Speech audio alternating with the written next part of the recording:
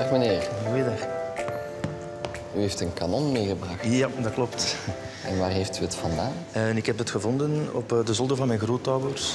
Weet u waar zij het vandaan hebben gehaald? Nee, heeft u dat ooit dat weet ik niet, maar het zou wel kunnen. Ik, wij, ehm, in de familie waren er dus personen die vroeger, ik woon aan de Dender en Schelde, de boten binnentrokken met koord, daarachter met paard.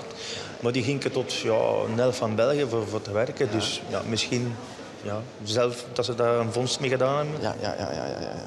Het is een kanon dat op een schip heeft gestaan.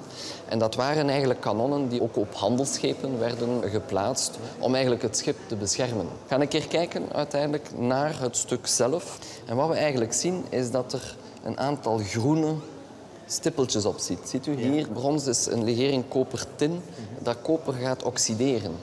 En uiteindelijk die groene aanslag krijgt u als er als een, een, een brons in contact komt met zout, met zuren en zout. Eigenlijk ziet u dat een beetje als u in het stadsbeeld rondloopt en u ziet een bronzen beeld. Heel vaak zijn die bronzen beelden helemaal groen uitgeslagen. En dat komt natuurlijk door de regen, daar zit de zure regen in. En dat maakt uiteindelijk dat die oxidatie tot stand komt.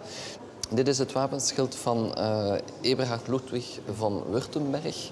En hier ziet u hem uiteindelijk in vol ornaat. En die heeft over Württemberg geregeerd in de late 17e eeuw. Dus ik vermoed dat het inderdaad wel een brons is dat uit die tijd zal zijn. Wat een, een, een goede zaak is natuurlijk. Het is een heel mooi object. Het is een object uit de tijd, dus uit die late 17e eeuw.